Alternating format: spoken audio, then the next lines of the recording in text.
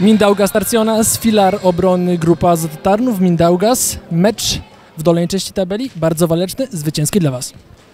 Bardzo ważny mecz. Y, Cały tydzień wykonaliśmy dużo pracy i cieszy. Przede wszystkim wynik w obronie. 23 bramki stracone. Bardzo dobrze. Swoje problemy jak zawsze mieliśmy w ataku, ale to da się poprawić. Przede wszystkim najważniejsza jest obrona. Początek był niezbyt ciekawy, szczególnie jeśli chodzi o skuteczność w ataku.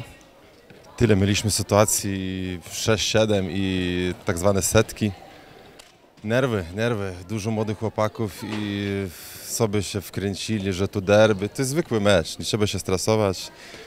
Ale pierwsze 10 minut faktycznie było dużo stresu, potem jakoś ta odblokowaliśmy się i było lepiej.